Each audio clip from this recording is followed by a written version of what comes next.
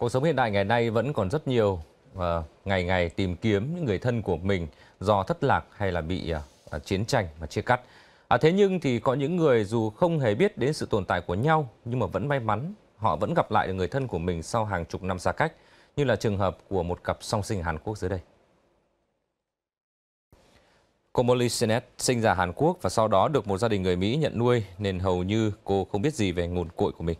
Và người chị em song sinh của Sinet là Emily Bushnell cũng trong tình trạng tương tự. Và cả hai không hề hay biết sự tồn tại của nhau trong một trong khi một người lớn lên ở Florida, người khác thì lại lớn lên ở Philadelphia. Tình cờ khi cô con gái 11 tuổi của Bushnell hối thúc mẹ kiểm tra kỹ hơn về ADN của mình để tìm hiểu xem liệu còn có người thân nào khác trong gia đình mình không. Bất ngờ hai chị em Sinet và Bushnell đã tìm thấy nhau dựa trên kết quả tìm kiếm ADN trùng khớp. Họ đã bắt đầu liên lạc và nhắn tin cho nhau, chia sẻ với nhau những bức ảnh và phát hiện có rất nhiều khoảnh khắc tương tự trong suốt 36 năm qua. Và hiện chưa rõ tại sao Brusnell và Sinet lại bị chia cắt. Xong, cặp song sinh này dự kiến đến Hàn Quốc cùng nhau trong một vài ngày tới.